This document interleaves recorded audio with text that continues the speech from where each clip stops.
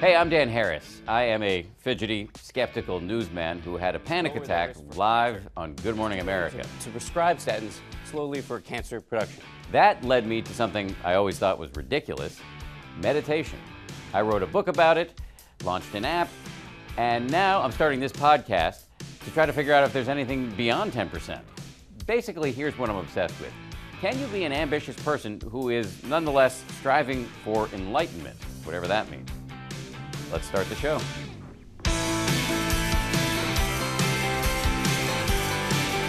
My guest this time is one of the most interesting dudes I've ever met. Check out his resume. He is a lawyer, a rabbi, a meditation teacher, a gay rights activist, an author, and a columnist for the Daily Beast. He's Jay Michaelson. Did I miss anything? That's more than enough. Really? But you also You skipped the professor at theological seminary, but that's fine. Yeah. it's it's it's it's an impressive list. Now, primarily, my interest in in you is that you are well, a couple things. One is that you're uh, you've done a lot of meditation, serious meditation, months of silent retreat, and yet are still, as one can obviously tell from that list of uh, occupations, very engaged in the actual world.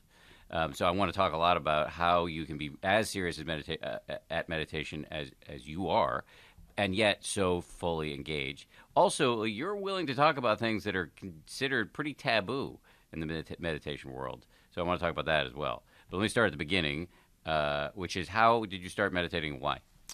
Yeah, you know, I think I really, um, in Buddhist psychology, there are three types of people greed, fear, and delusion. And, um, you know, I'm really a greed type. I just want every possible experience. I want to have the most wild, sensuous experiences, spiritual experiences. And uh, that's actually what got me into it, which is a little unusual. Most people who get into meditation, you know, are experiencing suffering, right? And they want to like have less stress.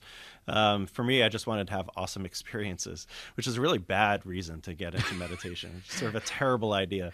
There's, there's, a, there's a great quote from your uh, phenomenal book called Evolving Dharma, which I recommend to everybody who's serious about what, what has been called deep end of the pool meditation. You say, When I started out in contemplative practice, I was searching for the mountain on the edge of the world, enlightenment, the big joy, mystical union, the whole spiritual enchilada of love, wisdom, happiness, perfection. And what's interesting to me about that is, and you were starting to talk about this, I was interested because I wanted to be 10% happier. I wanted to be less of a schmuck, you know, that, uh, to myself and others. I wanted to have my monkey mind toned down just a little bit. I didn't even, uh, enlightenment was not on the, on the, um, uh, uh, in the picture at all. So w- why did you want this stuff and why did you even believe enlightenment was real? Well, you know, I came at it from I was an academic before I was a practitioner, right? So, you know, I have this PhD in religion, and I was studying mysticism for a lot of my twenties uh, when I wasn't busy going to law school. Uh, so, so that was really the impetus was reading about some of these experiences. I was just amazed at the, you know, the way that so many people expressed uh, these kinds of transcendent experiences in different ways, but with a lot of commonalities. And uh, But so why I- didn't you think they were full of crap? Why didn't you think they're just a lot of people. Also, these are the people who are like experts at looking at their own mind over you know three thousand years, and they all seem to have these wild experiences, you know, without uh, eating mushrooms or or with eating mushrooms for that matter. But you know, there were all these people who had these sort of transcendent experiences. It just seemed I don't know. I, I so I did study it for a while with a really skeptical eye, never intending that this would be something that I did. Uh, but when the opportunity came along, so it, it seemed like something worth trying. Did it work? Did you experience the whole spiritual enchilada? It actually did work. I wouldn't call it the whole enchilada, maybe a taco. Uh, and and you know the way it worked. flauta. Exactly. Right. It's definitely a chalupa, a spiritual chalupa. Uh, my first retreat, you know, I did think, okay, great. Here I am, seven days of silence. Uh, it was in a kind of a Jewish context. So there was like Kabbalah around, which is what I'd focused on in my twenties.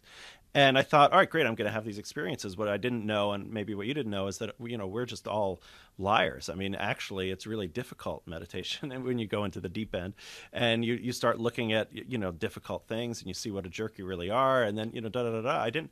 You know, there's a Buddhist book called "Who Ordered This Truckload of Dung," which I think is a great title for a meditation book. You could maybe that'll be your next book. You Yeah. could just call it that. Can. I just steal just that? call that. Just do that. He's a monk. He can't can't own anything anyway. The guy who wrote it. So that's how I felt that first week. But then, as the mind quiets down, some of those experiences did actually arise. Again, I wouldn't call it necessarily the whole enchilada, but it was a taste of something deeply profound. But what are we talking about? Uh, so I think now, when I look back on it, it, it's you know I've deepened those experiences quite a lot since the first retreat, tried to get a little more systematic about what's going on and what you know how much is delusion and how much is is what's what's really happening. It does seem as though it's possible with concentration, sort of you know focusing the mind and and cutting down on how much noise is there. You can really have a vivid experience of something very you know mundane. So I have a a piece in one book where I talk about a string bean. You know, it was the most profound string bean that I ever uh, that I ever ate in my life, and it was just an ordinary string bean. So it's not that the you know, it's not that you see Lucy in the sky with diamonds. You just kind of imagine, or just kind of experience the wonder of every moment. And it turns out to be just like Aldous Huxley said, you know, if the, you know, quoting William Blake, right, the doors of perception are cleansed and the world appears very different. And I think that just comes from having a concentrated mind. I don't think it's a, it's a supernatural uh, phenomenon. I don't think there's angels and, you know, God and things like that getting involved. But the mind can relate to things in a different way. And we know that because we experience it all the time. If you're in the flow state, for example, or if you're having a peak experience, you know, birth of a child, for example, or some momentous experience, you know, everything can be really crisp and really clear. Uh, and it's possible to have that s- a similar experience, if not the same, just uh, sitting and watching your breath. Right. So you're not leaving it to chance. You're actually developing the capacity to have these experiences. And in Evolving Dharma, you talk about how, with a concentrated mind, with a mind where discursive thought has come slowed down, watching paint dry can be exciting even if the paint is already dry. Yeah, it was great. I was doing walking meditation at Insight Meditation Society, and you know the way you do it is you Which walk. is, I just want to interrupt you. That that is a retreat center in Central Massachusetts, run by Joseph Goldstein and Sharon Salzberg. Right, and uh, one of the practices you walk back and forth in a room over and over again, which I've doesn't sound very exciting, Yes. but it is. It can actually be profound. When you get to the end, you know you're meant to just turn around. I got to the end and I was staring at this paint, and there were all these bubbles, and it was beautiful, and it was beige, and it was the most amazing thing I'd ever seen. And again, you know, no drugs uh, involved, just meditation. But you know, I think the key part to take away from this part of the conversation is, as practice deepens, you realize that these experiences are not the point. You know, it's a little bit kind of a sideshow. Uh, and the real point is transformation that's lasting in the mind, not just states of mind, but stages of mind. Uh, that it's possible to become 10% happier or 10% more just or 10% more compassionate. But is it possible to become not just 10% happier, but 100% happy? Is enlightenment real? Yeah, I mean, And some- what does it even mean? Yeah, th- so I think the last question is the most important. What does it mean? It depends who's asking. So, for if I take off my Buddhist hat and put on my Jewish hat, you know, I would say, you know, who's asking?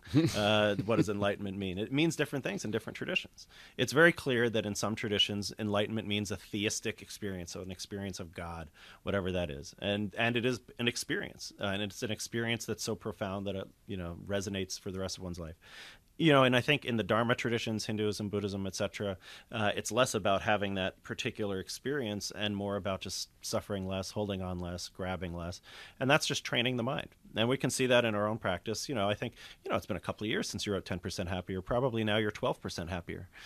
I'm, you know what? I realize I'm going to be stuck with math jokes the rest of my life. Yep. Well, you know that was you and your publicist's fault. so I think it, you just see it in practice that it actually does happen, and then you meet people who seem for more advanced, just like in anything else. You can become you know ten percent more fit, you know, and then you meet some athlete or you know some marathon runner or something like that who's really really fit, and those are the examples that inspire us. And so I've come across some of those people. Again, they're not necessarily mystical woo woo uh, people you would immediately spot. They're not wearing necessarily brightly colored robes, but people who really grasp less. And, But but but the Buddha wasn't advertising, uh, you know, incremental improvement. He was talking about when he talked about enlightenment. Although, as you point out in your book, he didn't use the word enlightenment. When he talked about awakening and liberation, he talked about the remainderless uprooting of greed, hatred, and delusion. That is that's the enchilada That's the right there. yeah. And so, I mean, do you think that is possible? Sure. You know, Have you ever I- seen anybody? I, have seen people who seem to be very unstuck. Uh, and who are in difficult situations and they react just like human beings do, but they are not, you know, as stuck as I get when I'm in a traffic jam. Um, so, and they're in more such serious situations than that. So, I don't think it, it, it you know, I don't think it's necessarily a all or nothing enchilada or no enchilada approach. And I, and I think, you know, just even in any map, like in the Buddhist map, the Theravadan Buddhist map, there's four stages of enlightenment. In the Tibetan Buddhist map, there are 12 stages of enlightenment. There are all these stages. The Zen ox herding pictures, which is the stages of enlightenment, have stages along the path. So, you know, in a way, yeah, it's the deep end of the pool, but it's a, it's a a slope from the shallow end to the deep end. It's not that you just jump right in and you're now at full depth. So it's like you get a flauta, then you get a plate full of flautas, and I then think maybe this uh, metaphor is getting pretty annoying Yeah, by sorry, now. yeah, but if it, probably. if uh, you know if we want to keep going, yeah, that's right. Yeah, exactly what you just said. All right, I'll leave it alone. I'll I'll stop flogging this ox. Um, so describe to me. So you talked right there about uh, the different maps of enlightenment among the different Buddhist traditions, and there are maps. You can correct me if I'm wrong in the various uh, mystical strains of the Abrahamic faith as, as well. But I think you and I mostly practice Buddhist meditation, and you talked about the Theravadan map, which is where you've spent most of your time. This is Theravada is one of the schools of Buddhism. Um, it's probably the oldest, the old school. Um, so it's called in, in this school the progress or the path of insight. Break it down for us. How does that work? So, without going in the sort of nitty gritty and getting lost in the weeds, the the idea is that in intensive practice, the deep end of the pool, uh, the mind naturally kind of goes through certain certain cycles. Uh, you see this, and then you see that, and you see the other thing. And again, that shouldn't necessarily be surprising or mystically strange. If you're studying math, first you do with arithmetic, and then eventually you'll get to algebra, and then eventually you'll get to calculus. Um, so it's kind of similar, uh, and it just it's it's how the mind sees through certain patterns all the time. So, for example, it looks to it looks to me and you like you know there's a table here, and it's very solid, and it's never going away. Obviously, we know intellectually that's not true. You know, hopefully sooner rather than later, an interior designer will come in and realize that this table should be replaced, um, and then the table won't be here. So, but it's possible to really kind of intuitively get that, and that I think is the part that I want to emphasize is that you know you can just read the Path of Insight in a book, but it the the it's really more like a cookbook, and you don't taste the dish just by reading the recipes. You actually have to do it. So you do it, the mind eventually develops what are understood as intuitive knowledges, like it gets it, like you really get it. Um, you know, just like a small child, at a certain point they get it. You know, don't run into traffic. Or hopefully they get it, or they you know they under they get certain things in a basic intuitive level that doesn't require like a lot of thinking about it.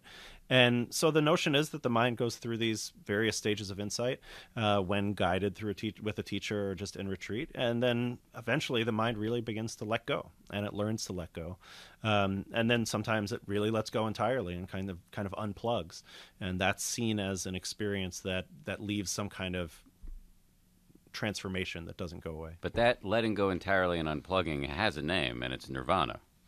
But yeah, it's a it's a, a a moment of seeing nirvana clearly. Yeah. What does that mean? Uh, it's hard to, yeah, I hate to sound mystical and say it's hard to really put it into words. Um, it does also mean different things in different traditions. I think it's just the the mind intuitively learning that it's possible to let go of all the technical term is all formations, which means everything we perceive, every everything we think. That it's just possible to kind of unplug in a certain way, and it, you know, it's not so radically different from other mind states that we enter every day, like sleep, for example. You know, if you're constantly thinking about trying to go to sleep, you can't fall asleep. But the mind learns how to let go. This is just letting go in a more profound way, in a way that enables the mind to really exhale all the time in a certain way. But so okay, if I'm letting go uh, of everything, how you if you if you or you are letting go of everything, how are you uh, a lawyer, rabbi, meditation teacher, gay rights activist, author, columnist for the Daily Beast? How are you so so active and successful in the world if you've taught yourself to let go? Well, because I'm still uh, a baby at letting go. I'm just not that advanced. You know, at most, I'm 25% of the way to the enchilada. So uh, I almost went back into that metaphor with which pieces of the enchilada I have. Um, but, you know, I think there's also a, there's, I think it's a helpful thing to think about the concept of karma, not in some mystical sense, but just in the, the way that we live. So, you know, what are the causes and conditions? You know, my karma being born in the West to, you know, my socioeconomic group and so on. And, you know, so there's some desire to kind of keep doing that kind of work. Um, you know, maybe after I, I get my triple crown and get the uh, the Emmy and the Oscar and the Tony or something, then I won't care as much EGOT, anymore. yeah. Right, but right now I right now I still uh, I still have that desire uh, to change the world to somehow bring about more compassion and less injustice. So those kinds of things are still there. But if I, so, if I was fully enlightened, would I not try to achieve anything? So that's like a that's a question which luckily we'll cross that bridge when we get to Yeah. it. I'm not in Uh, and I don't worry about it too much. Yeah. Yeah. You know, it also so for example, I'll go to a different tradition in the Hasidic tradition of Judaism, there was a concern that if you're just in the presence of the divine all the time, you won't do anything. So the scholars call this quietism. Right? So quietists you just there's no reason to do anything. You're just in the purely bathing in the divine radiance all the time. And that does actually come up. There are there are concerns uh, that the Hasidim have in the 19th century that the mystics might get too enlightened and then they wouldn't do the work of like taking care of their community, for example, um, which they they had responsibilities to their community and to their families for that matter. So you do see that, but I, I think it's kind of a yeah. I'll cross that bridge when I get to it. Um, so I know you didn't want to get too nitty gritty about the path of insight, but can you get a little uh, nittier and grittier in terms of how many stages are? As I understand it, there are four sort of big paths, right? Four stages, and within each four stages, there's something like 16 mini stages. or- Yeah, 16, 18, depending on how you count it. And uh, these are just when I was saying before how the mind sort of intuitively learns different things kind of in a sequence. Uh, that's just the sequence. Uh, the first couple are very basic. So, for example, one, the, for, I think the first one or the second one is just cause and effect. Just, okay, I get it. There's cause and effect. Things happen as cause and effect. But there's something really profound, actually, just in that, in the cause and effect piece. So, for example, most of the time, like right now, you might be thinking of your next question and you think that you're thinking about that question, or I'm thinking about my answer. I'm thinking about the answer. Actually, that's not happening, right? There's just cause and effect. So you've had your training, you have your curiosity, you have your genetic background, da da da da da, your agenda, whatever. Those are the things that's actually determining the next question. So just seeing cause and effect helps sort of loosen the this delusion, that a very helpful delusion, uh, that there's uh, there's a self driving the car. The car is a self driving car. Uh, the self emerges as a phenomenon in consciousness, and most I think neuroscientists would sort of agree. You won't find a homunculus in the brain somewhere like where the self actually is. It's more of an emergent property of the brain. Buddha didn't have any of those concepts, of course, um, but you just see in cause and effect. So that oh, you know, this is cause and effect, not self. This is cause and effect, not self. When I get hungry, I get hangry. Now I'm angry. Is it that I'm angry? Well, the causes for anger are present. I got hungry. Now I'm angry. It's just that very simple thing, but you see it over and over and over again. So that's an example of one of the insight knowledges, one of the very early ones, the insight into cause and effect. But you, so you raised there a big issue, uh, and I know I'm trying to get you to talk about the progress of insight, and, and I'm going to derail us just for a second because you brought up one of the hardest things to understand about Buddhism or meditation practice, and I, it's also there in um, other in other traditions as well, which is that the self is an illusion. Uh, I I get it intellectually, I think, but it's hard to get viscerally. So just talk a little bit more about because I think most of us believe that we're very real. We look in the mirror and there we are. Yeah, sure. Our body is there, right? So there's one of the other insight knowledges is the difference between mind and body. Um, but just you know, I want to grab that a phrase that you just said, like you get it intellectually but not viscerally. That's the whole. That's that's the point, right? Is that it's one thing to sort of have somebody say something and you read it and if you agree or disagree. It's another thing. You know, my word for viscerally is you get it in your kishkas, right? In your in your guts, like it's it's really there, and you're like, oh yeah, that, yeah, okay, and you just sort of see it. Um, that's the point of practice, right? To move from one kind of knowledge to another. Um, but it doesn't have to be mis- again mystical or profound. You know, I, I in a previous book about non-duality, since that there's no difference between subject object, um, I had sort of the instruction of just you know imagine raising your hand. So you, you could decide somebody listening or, or watching this podcast right now. You know, if I say well, go ahead and raise your hand, and they'll either do it or they won't. So let's say you do it, and then you could review what were all the factors that led to you raising the hand. All right, so I said something, but obviously wouldn't do anything I said. So maybe some curiosity or an assessment of the risk seems like a, a low risk activity. I'll give it a shot. Uh, obviously, all the physical processes that were there. Da, da, da, da. You can make a list of 100, 200, 300 factors that caused that action to happen, and none of them will be Dan. Like there's no there's no one that's right there that is actually well that was me. I decided it. No, all, all these different factors of, and different things about you, your personality. You know, maybe you uh, had an o- overbearing father who told you what to do all the time, and so when some schmo on a podcast says to raise your hand, you're like, "No way, I'm not doing that." Okay, so there's that cause, right? Cause and effect, not self. Cause and effect, not self. It's not. There's not the. There's no there there. Um, and if you look for, you know, there's a part of the brain, the, the PCC, which uh, Jud Brewer, who I'm sure will be a guest of yours at some point, uh, studies, which kind of does the act of selfing. right? Having that perception of the self, which is very helpful because it helps you not get run over when you cross the street. All of my examples are about crossing the street because I live in New York. Um, it's either that or meditating on the subway. Or Mexican food. That's right, exactly. I see we're seeing a pattern here. Um, and so you know, but that's so that selfing process is really happen is really helpful. But it's a it's a process. It's not a reality. It's just how we how we see things. Soon we'll all be gone. Right? But but my I, I have had this debate with my mom. Uh, who But that always works. who- I, it hasn't worked. I've I've never won this debate. Any debate. You know what Ram. Dass said: if you think you're enlightenment, go spend some time with your parents. My mom does not drive me crazy. What she does is make me realize how foolish some of my conclusions are sometimes, or how hasty I've been. That my mom is a scientist, very rigorous mind, um, and she's gotten interested in Buddhism as a consequence of my interest. And she's on me about this idea of no self or selflessness or emptiness. Um, one of the things she says is, just because you can't find it, doesn't mean it isn't there. Yeah, well, people have been looking for 2,500 years, so that does suggest a certain difficulty in finding it. It's not like I just spent Sunday afternoon and was like, yeah, can't really can't really find the self, so I guess there is none. Uh, so that's one data point, I suppose. But it, it's also you can just let go of the concept if it's not helpful. But I think for me, it is helpful because uh, where there's no self, there's also that part that's that suffering isn't really running the show you know the part of it the, the part of the ego that wants to run the show is the least competent part of our mm. minds to run the mm-hmm. show. And yet it's convinced that it it you know is going to take care of things. It's convinced that you're doing well or doing not well and it has all of the answers. And it's there you know it's a nice function of the mind trying to keep you safe trying to make you happy in a certain way. Uh, it just doesn't work. There was another hasidic rabbi uh, in the 1960s named uh, mick jagger who pointed out that you can't always get what you want. And so that little voice that says i will only be happy if i get what i want is is is not it's evolutionarily adaptive right? If we didn't have that you know our great ancestors who didn't do that they probably didn't reproduce enough right? They, they got eaten by a tiger or something but now that voice just causes suffering Not well. I mean, it doesn't just cause. I mean, sometimes it gives you good ideas, right? sure no that's right yeah i'll take out the word just That Uh, can cause you a lot of it can cause a whole lot of suffering And when the at least it does for me. Yeah, you know, for go sure. see it for yourself. But for me, that it does, and and No uh, question. so it would be nice to not take it quite as seriously. yes. So back to the the path of insight. One of the little stages along the path is. Do you need to drink water? You No, no, okay. no, Um, one of the stages along the path. Cause and effect, not so. okay. One of the stages is called Dark Night, or actually, it's called Fear, I think, in the traditional language, but um, uh, now it's often referred to as the Dark Night. Basically, you freak out. Um, d- describe why you freak out and how big a deal Dark Night is, and I, you've gone through it. So, how bad is it? Yeah, so I would say two things. First of all, there's regular freaking out, and then there's this kind of freaking out. People freak out all the time.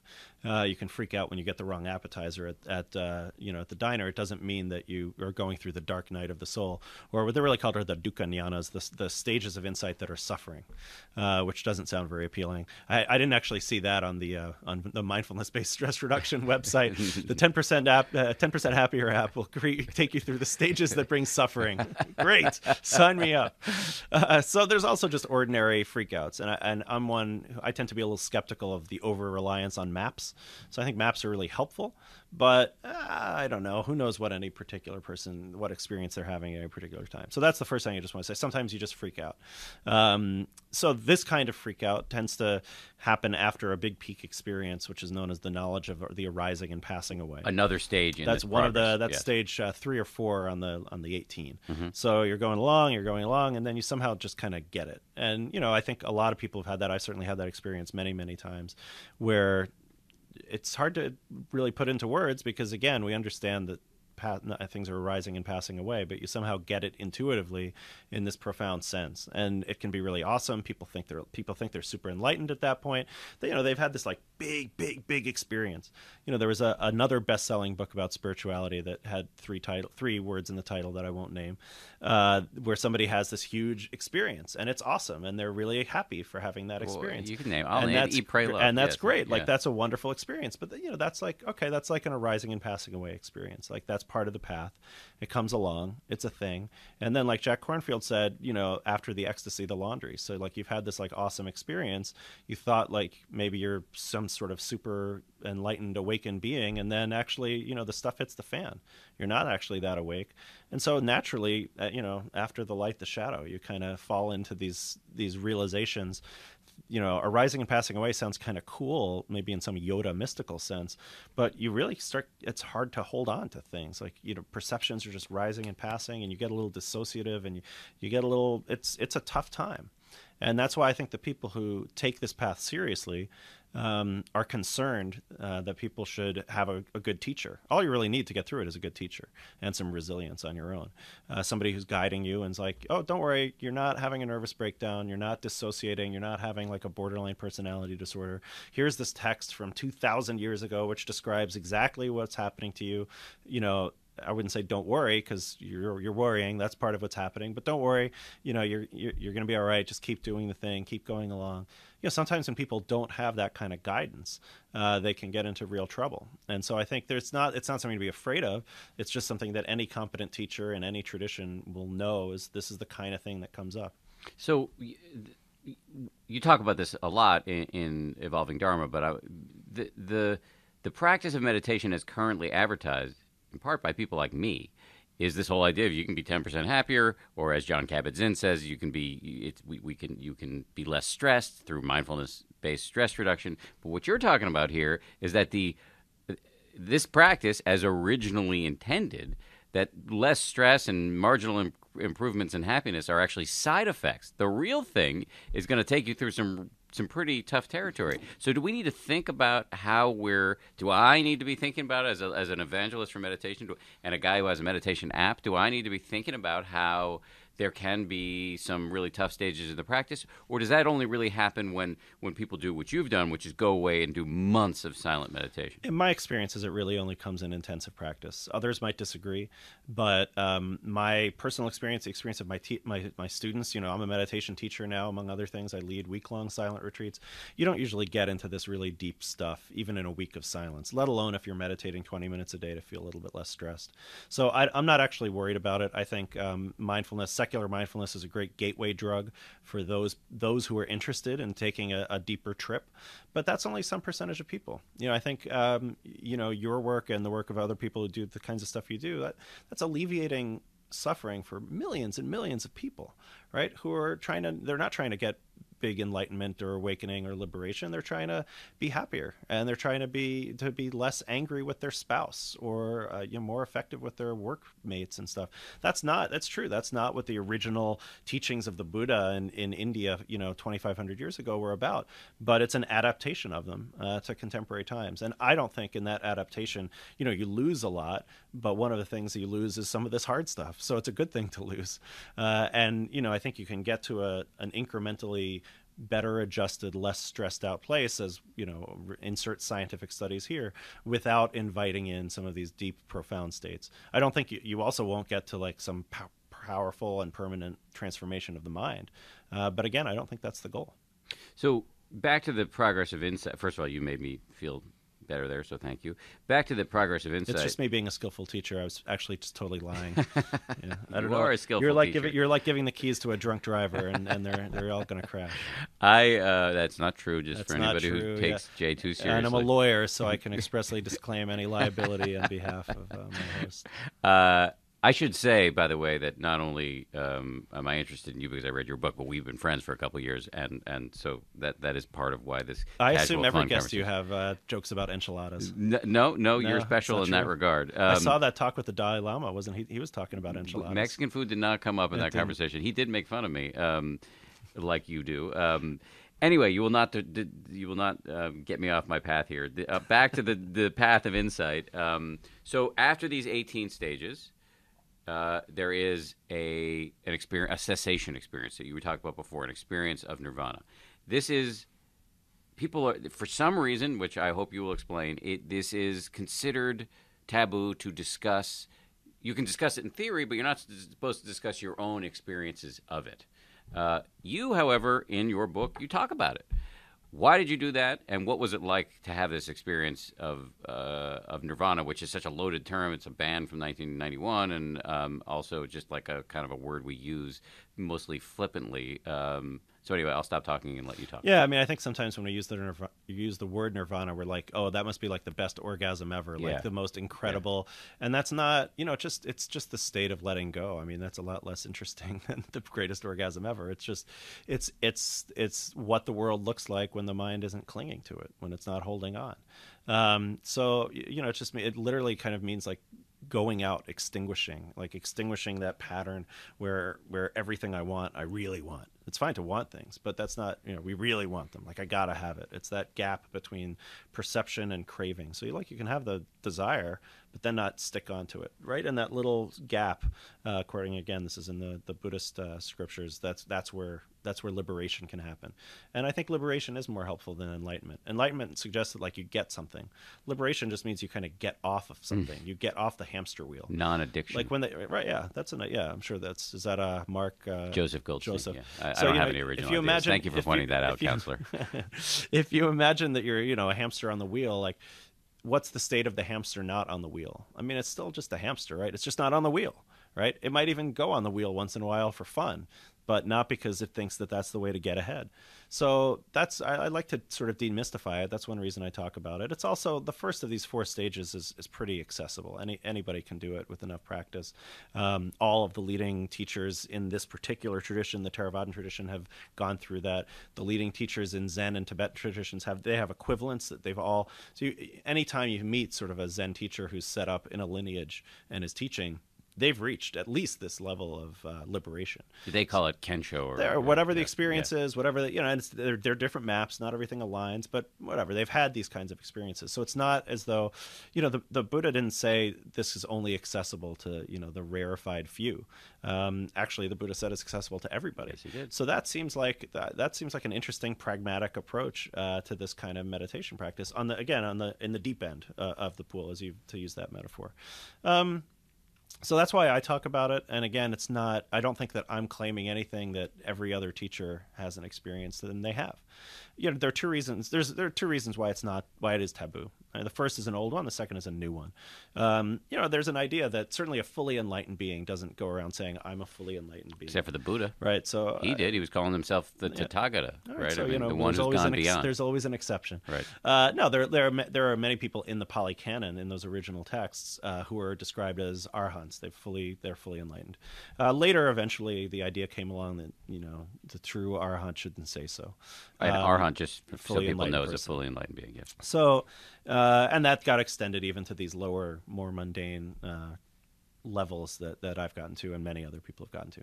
And then, second, in the contemporary sphere, you could just imagine um, how well this whole stages of enlightenment thing went over with a bunch of competitive Americans going over in the 1960s and 70s, right? So, you know, we have uh, you know, presidential candidates who want to compare their anatomies. So, like, that's just sort of a thing that Americans like to do. Well, well, I've gotten to stage 17.3 and you've only gotten to stage 17.1. And, you know, who's got what attainment and who got to this and who did that. And, you know, so early on in the year, in the founding of the Western uh, traditions that, uh, you know, that drew on these older ones, there was sort of this sense of, you know, let's just, let's tone down all the competitive stuff and uh, let's not talk about all this stuff. And I think that was wise. Uh, maybe went too far to the other side about making it mystifying and weird and who knows what this is. But I think that's, that's why it happened. How do you know that you didn't delude yourself into thinking you had this experience? Because you know you had re- you knew about the maps, um, and so you were kind of primed to to want to go in this direction. So how do you know it really happened? Well, so the funny thing is, is that for three weeks after having what this experience seems to have been, By the way, it's I called thought I- stream entry, right? That's the So, technical term. That's right. So just, and it just means you've entered the stream of the Dharma. It's not like a big deal. Like okay, so now you're now you're in. You're in the gang. You've had your initiation experience. right. Um, you say it's just a few steps beyond being a novice. yeah. yeah I, I mean, yeah, it's like two or three months down, out from being a novice. You know, you could you could unplug and, and you'll get it in a month or maybe two months if you're a slow learner. And uh, so So give me three. That's yeah. You take take ninety days. Just you know, so within six months, I think you would be able to. Uh, so that's um, you know, that's that's the the the basic idea is that you're just kind of getting into the getting into the stream, so to speak. Um, But why are you convinced it was real? Oh, right. So, uh, Right. So after I had that the sort of experience, I was sure that wasn't it because I'd read some book which said it was supposed to be something else. So actually, but I was walking around feeling sublimely happy for some unknown reason. I was like, well, I know that wasn't stream entry, but it sure did change my life. That was really awesome. That was incredible. Da da da da da. But because I had some preconceived notion, even after having the experience, I you know I just assumed, well, I don't know. I read this book that this should happen and that should happen, and those things didn't happen. Therefore, that wasn't it. Um, you know, I was working with a teacher. I was in Nepal uh, in the middle of a five month silent meditation jag, and uh, he was very skilled in these maps in these partic- in this particular tradition, which again I'll just say is one of many many. It's not like this is the map. Uh, but he was on on this set of maps and you know he had me really review the experience carefully and was there a kind of a gap in your series of perceptions and how did that work and could you re could you uh, make it happen again if you sort of like a scientific method so it was pretty rigorous uh, kind of going through all that stuff but then you know the real proof is in the pudding. I mean it was one of those kind of before and after experiences. And again i've had like awesome spiritual experiences now for 20 odd years. So it's not like i'm not familiar with the idea of you know having an awesome experience. This was this did seem really qualitatively different. And it's just very accessible. You know one of my favorite practices on in daily life is just to kind of touch back to that place of non-seeking non-desiring mind. It's always accessible. It's right there just got into it now. Isn't that great? It's worth it. You just did it right now. Yeah, sure. And yet you are I mean I know you. You are a really ambitious guy. And and so how do these two things work together? I mean, there's two there's two answers: the truth, and then the sort of mystical BS that I'll give you. Okay. So the truth You're is, tell me which is which? Yeah, Okay. the truth is that uh, again, I'm just early on on the path, and I'm still fully captive by the same forces of greed, hatred, and delusion as everyone else. Even if I'm 25% of the way there, that means I'm 75% not there. Hmm. So that's the truth. Uh, the mystical BS line that I could give you is, you know, you can be in the world but not be totally of the world, right? You can sort of want something but not feel as though your life is a mess if you don't get it. Um, and so it's possible to kind of see through. Uh, these phenomena which and and still love everything about them. Love great experiences be really upset about injustice and want to work toward you know and, and violence and all of those kinds of things. And so um, i'm calling it mystical bs because that's actually the truth but i want to sort of hide it in the language of mystical bs so you don't think that i'm really arrogant I don't. I know you also well enough to know that you're not really arrogant. And here I'm going to ask a question that proves that, which is you wrote another book, uh, which I was able to read parts of, but not the whole thing. It's called the The Gate of Tears, and it's beautifully written. And one of the things, it's actually, it's all about the fact that even, even though you've had these amazing experiences, life is hard. And you lost your mother. I met your mother. She's a wonderful, wonderful human being, and it was very painful for you, justifiably. And just because you're a stream enterer didn't make it not suck uncontrollably. So talk a little bit about that. It's it seems like you can get pretty far in meditation, but it, it doesn't end pain and suffering. And I I don't think we would want it to, though, right? That's part of what's in the Gate of Tears. Like, I don't think we'd want to have this existence in which we don't feel pain at the loss of our parent. I mean, right? I wouldn't want to live that way. That's what I meant before when I was talking about karma. Like, maybe it would be better to just not be affected by anything, but it's not. It's not an aspiration of mine. And I, and you know, I don't know. I don't really know people who are like that, who are just totally colorless and, and bland. It's those aren't my role models.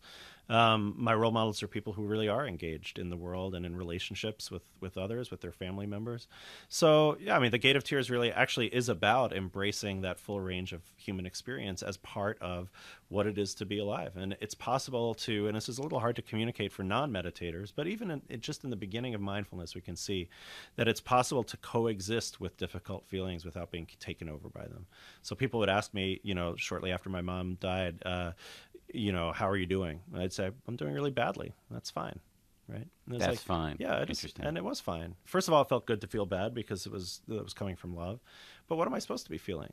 Right. Yeah. That, it feels terrible. Like it was really rough and that's fine. That's what it that's what it should be, and and it's possible again to have just a slightly different relationship, as if we're settling settled back a little bit, or as if there's one metaphor is like you can be the sky instead of the storm, and just sort of be present with all these things that happen the joys the sorrows everything else in a way that actually makes them quite profound. It just makes it like another season of the year really beautiful in its own way and a, a way that we can relate to one another if we're able to be authentic with one another and emotionally authentic.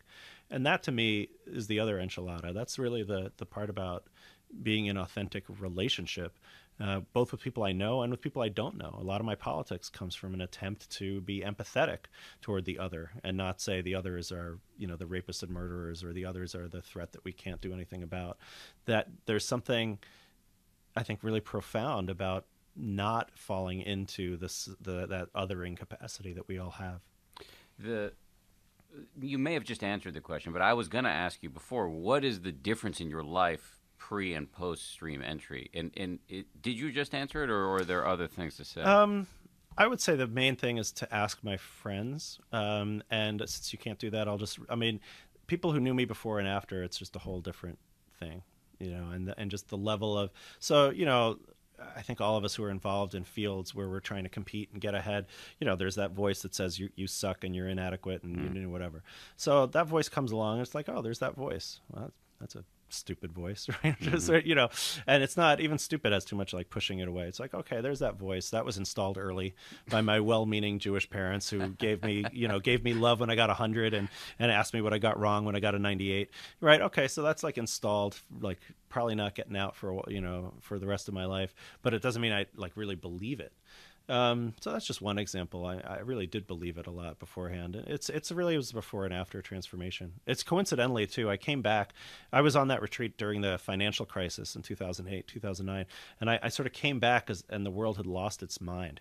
Yeah. And it was really interesting because I thought I was pretty weird. I grew a long beard and I was hanging out with monks and like who's you know I, pretty much a weirdo, right? And then I came back and the whole world was like the weirdo world and it actually really reinforced the the idea that there were really different there were different lines and axes of truth and um i'm just i'm still a greed type i just want all of them I'm I'm keeping an eye on the clock because I know you've got to run soon. But we've got ten minutes. I could honestly take another two hours and ten minutes, but I'm look not, at any of the podcast listeners you- probably not Yes, we, I think people. What I think podcasts are actually a sign that all is not lost in, in, in modern society because here you have these totally gleefully nerdy discussions of deep dive into whatever you want, and people are consuming them in large numbers. I think it's phenomenal, but that's a complete digression.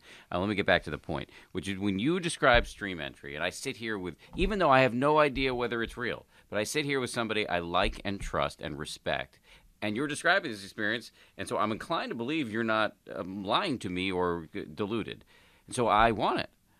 But how do I get it? With I got a kid, I got a full time job, I'm, I write books, I host a game show, I um, I give speeches. Um, well let go uh, of the game show that's the step one Well, that only takes like a week. Um, so anyway, the long way of saying I have a lot of things to do. How could I possibly attain what you have? Yeah, I mean, look, the truth is, I mean, this is not this is not the popular answer, but the truth is, those, these were monastic practices. They were for monks and nuns, and it's you you can't actually have it all. And it may just be that your karma with your again your causes conditions with your family, your job, your profession, maybe not. Um, I do. There are teachers who say that you can get to these levels uh, in daily life with a certain kind of intensive practice. Um, I didn't do that. Uh, for me, it was easier to unplug uh, and go away for a while. But um, there are people who say you can do it. But you know, I think. But look, I mean, your point about you know you're saying this thing and you seem reasonable. You know, you can replicate that a hundred times. I mean, Joseph Goldstein's gotten way more than first of these four paths. Again, he's You know, my meditation. He may not. yeah. He may not say how many he's gotten, but it's definitely more than He, one. he says between one and three. Yeah, right. Uh, so it, you know that's there are a lot of people who seem pretty reasonable and yet who have these kinds who have had these uh, transformations. And again, I want to Yeah, get I away can't from tell the- if it's like uh, the real deal or like some elaborate affinity scam that I'm I'm like falling into. Well, it depends how how much of a check you wrote to him. I don't know, you know, how much you donated to that uh, that Ponzi scheme up there in Massachusetts. Just kidding. Uh, so I think that's that's key, right? That's if you if you look actually again, let's flash back to some of the the scriptures from 2,500 years ago. You know, the fact what are the factors that lead to awakening? One of the ones that appears over and over and over again is called noble friends and acquaintances. So that- noble friends, sorry, noble friends and conversations. So having and what they mean by noble uh, isn't like knights and dukes, but people who have who have done practice, who you can you know relate to, and having conversations with them and finding out what it's like for them in in uh, lived experience. But no, I, I think it is possible. Look, it's not always possible to unplug for a month, but sometimes it is. I was very fortunate in 2008. It's 2007. I ended a relationship. I was at a, a nice job transition point. I was very fortunate uh, at that point that I could really decide this is really something I want to try to do. And uh, I was fortunate that the right books and stuff came along, and I'd heard about these paths in practice, and um, and so I went for it. And at some point, the circumstances align. Uh, or maybe it's true. Maybe it can be attained in daily life, but with very intensive practice. Again, for me, that's not my path. It's it's just I'm too entranced by all the stuff that keeps us busy all the time uh, to uh, to really devote to practice while I'm in the world. So. Well, what I've tried to do, and I don't know if this will be enough, and uh, obviously everybody's kind of mental situation is different. Uh, the, the, Buddhist term would be everybody's paramis are different. But so I have committed to doing two hours a day of, of practice, and to, that's and a, that's a lot more than I do, by the way. Just so you you should know. Which well, is great. Yeah, you, you go, girl. It's that's hard. what I'm trying it's to say. Hard. Um, it's a huge commitment. It's I, huge know, I have no idea how you do it. It's it's been hard. Um, also, the, this whole thing about having good friends and, and good in a very specific way. Uh, I've worked very hard to cultivate that. I've, com- I've committed with my wife's permission and and and uh, uh, collusion to to go on at least one long retreat a year, and so I'm trying to do the best I can to create the conditions that would allow these experiences to arise. I don't know if it'll happen, but that's that's what I'm doing. It's also setting intention too, and having that right intention is is uh, again part of the that's part of the path. Having just set the intention, even that uh, is again it's it's one eighth of the work right there, uh, and so having that intention to cultivate those things. And again, uh, you know, I think the challenge for people like you and me who tend to be a little ambitious and in the world is ultimately at the end of the day you really have to it's it's it's almost cruel. You just totally have to get let go of it. And you can't fake it either. You can't sit there and be like i have let go of the desire for liberation. I don't really care. I don't really care because you're full of it right? It's not true if you if you still do. So it was i, I literally at some point on that retreat in nepal just got to the point where i truly didn't care. You know and i was just like well okay whatever whatever. And it's so boring, you know, sitting there for hours. I was doing three hour sits, right? Because when you're on retreat, you get really concentrated. You can sit for a long time. It's not painful. And um, saying, you know, it's just that's a lot of time. You know, like four three hour sits a day. It's just like a lot of time. That's intensive practice, right? That's really devoting. You know, you think about what it takes to become like a really good musician or a really good athlete or something like that. I can't imagine. You know, I read about these athletes who are, you know, they're training ten hours a day or whatever. It's just mind boggling. So this is pretty similar. Mm-hmm. And to get to that level, that's what it it does seem to require. Maybe maybe not, but it, in my experience, it does. Um, until you actually really are no longer needing it, and then it shows up. It's really quite perverse. It is perverse.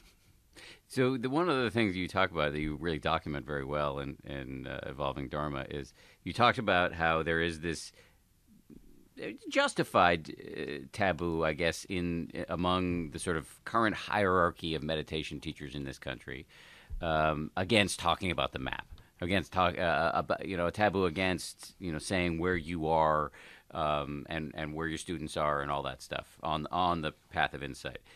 In reaction to that, there has grown up this this school, and you're actually kind of part of it, of pragmatic or hardcore meditators or Dharma practitioners.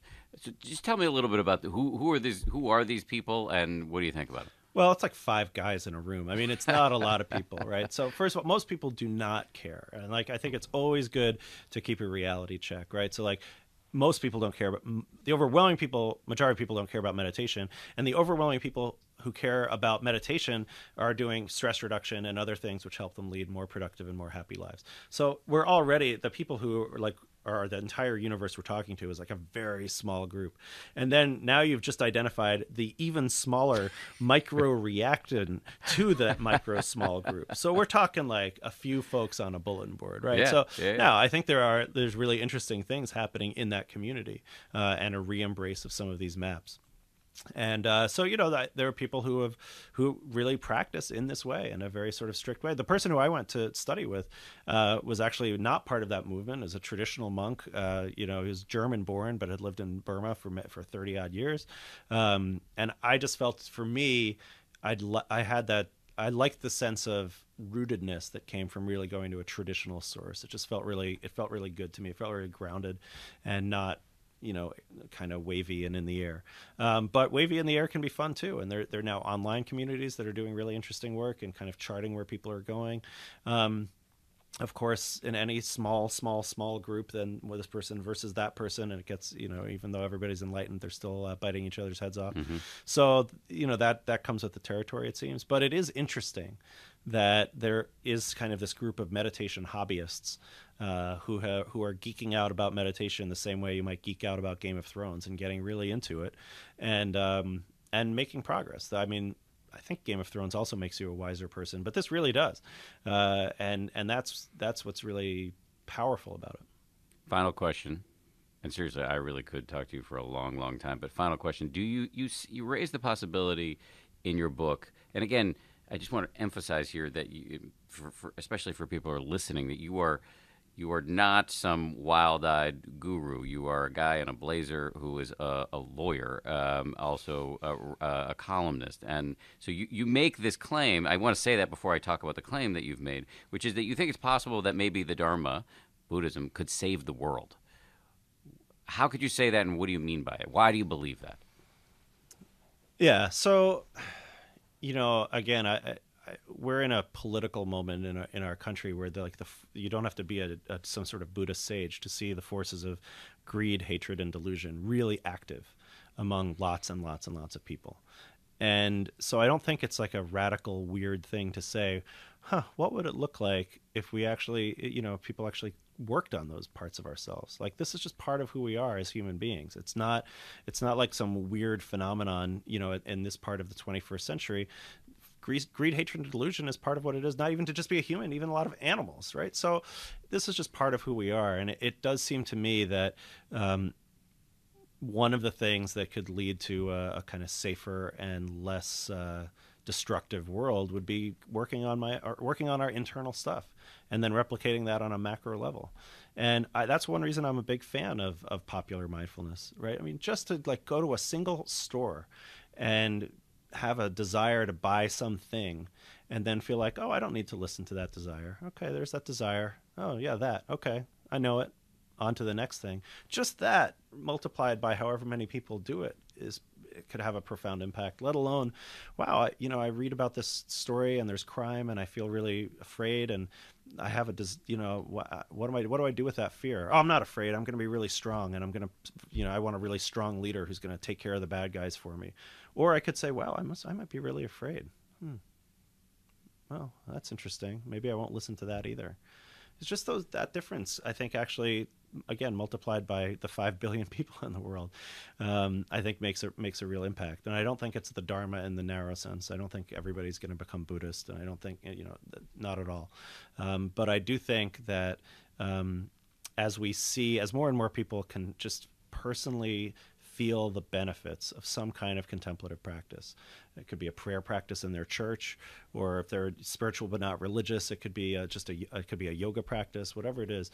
As more and more people, I think, just feel that wow, this, this kind of works for me, and here's why, and I can articulate why, and I'm not signing up for something stupid or something you know that that requires me to sacrifice my intellectual credibility. Just if that if that actually keeps happening, that could have a real impact, and I, and I think it is kind of the ultimate think globally, act locally uh, approach. And it doesn't mean, you know, I'm out there every day working on top down, you know, law stuff, religion stuff for my writing and my other work. So it's not like that. It's not like it's either or. But um, ultimately, there's something about human nature that can be uh, evolved uh, and made more wise and compassionate. It's yeah, it's very gratifying after three years of having occasional lunches with you and reading your books to see my friends sit here and, and deal with my pain in the butt questions and, and give such clear, cogent, and compelling answers gives me a lot of naches, as you would say in the Jewish tradition. So, bravo. Thank you very much. Well, I'm experiencing a lot of mudita, sympathetic joy, as we would say in the Buddhist tradition for you. Thank you, my friend. Appreciate it. And, and some envy also. that we'll, we'll discuss next time on the 10% Happier podcast because we're going to have you back for sure. My pleasure. Thank you. Appreciate it.